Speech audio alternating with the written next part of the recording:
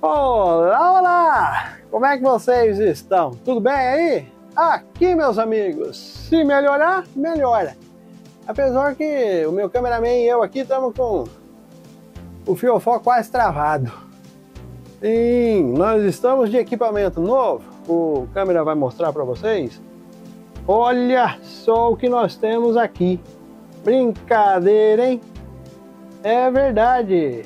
Vai tudo sendo gravado e eu não vou precisar editar depois. Mas esse Brag Night aqui, ele foi feito para fazer live.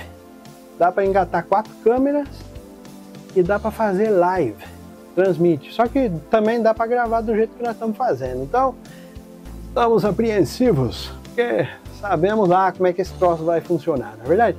Se vai funcionar. Tem esse pequeno porém mas estamos aqui para fazer o vídeo e hoje vai ser rápido, rápido, rasteiro. Aí você fala, por que tão rápido assim? Porque esse vídeo, na verdade, só vai terminar semana que vem. Vou explicar.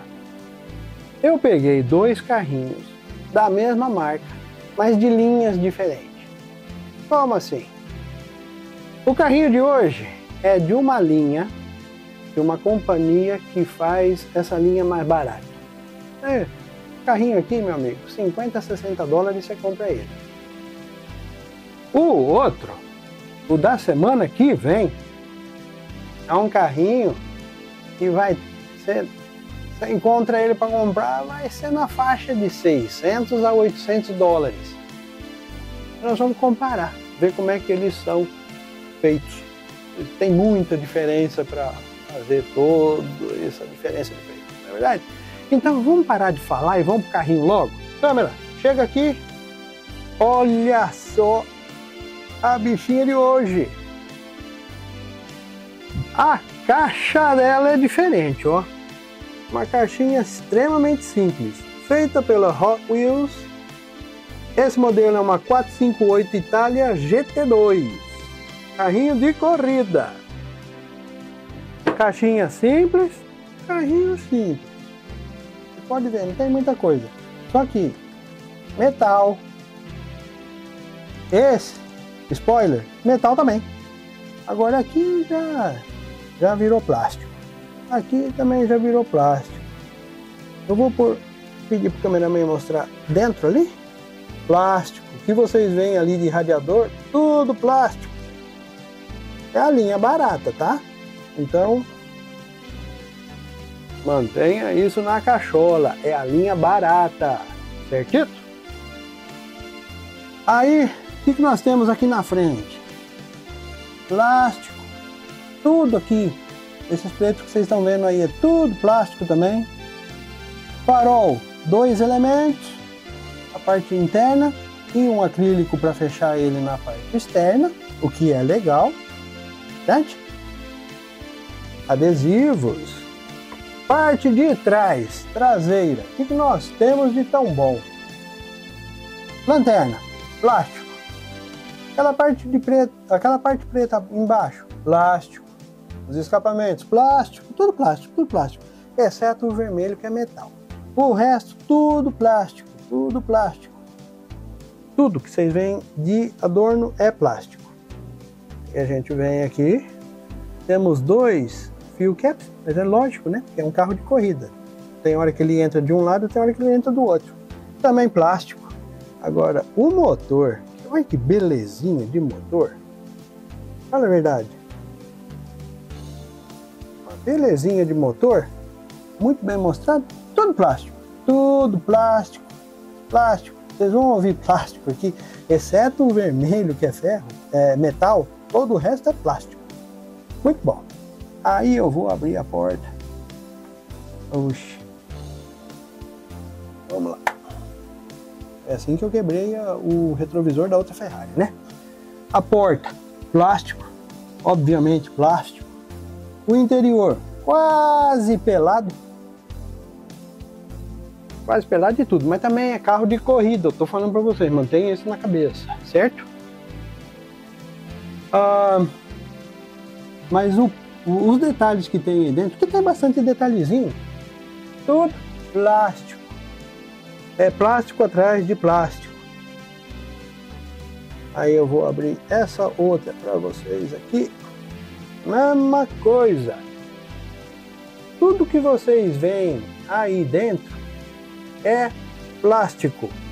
Puro plástico. Nada mais do que plástico. Bem detalhado? Logicamente que é bem detalhado. Isso daí é óbvio. Mas tudo plástico. Certinho? E a parte de baixo,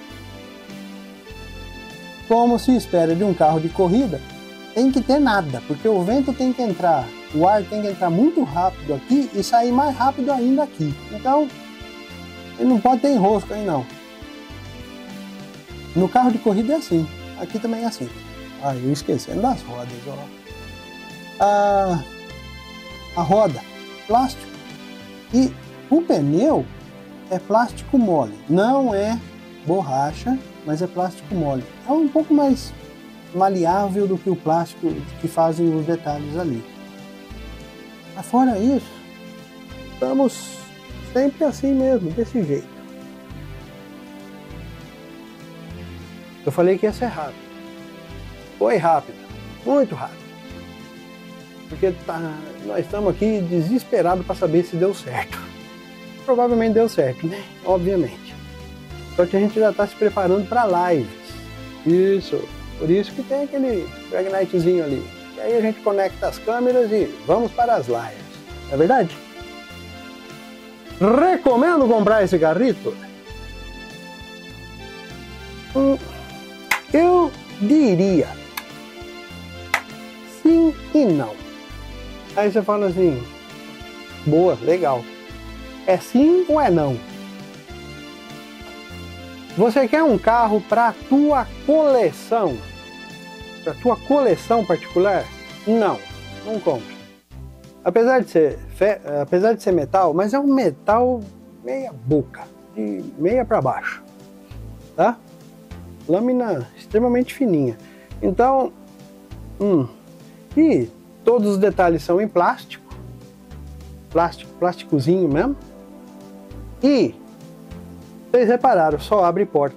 Então, pô, para uma coleção pessoal, eu não aconselho. Mas nem de perto. Ah, agora, se vocês querem ter um carro para colocar de exibição no escritório, na casa, sei lá onde que vocês querem exibir, beleza. Legal. Não é porque também não é caro? E se tiver aqueles curiosos, né? Que sempre tem sempre vai ter um que querem chegar ali, falar, ah, eu vou pegar. Se pegar e quebrar, é um troço baratinho. Verdade? Agora imagina pegar o da outra linha. Essa linha aqui, como eu falei, é 50, 60 dólares. A outra linha que já não existe mais é 500 a 800 dólares. Então, né? mais difícil você ficar de boa quando um cara quebra um carrinho de 800 dólares. Não dá, não dá, não dá, não dá. Então é por isso que eu falo. Fica a teu gosto e para o que você está comprando. Certo? Mostrar os outros? Todo mundo vai pegar? Compra. Porque é bem detalhado.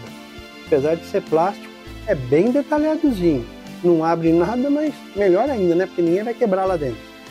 Agora, se você quiser para sua coleção particular, não. não. Ela não tem valor de colecionador. Não tem. Por isso que eu falo. Boa opção. Certito?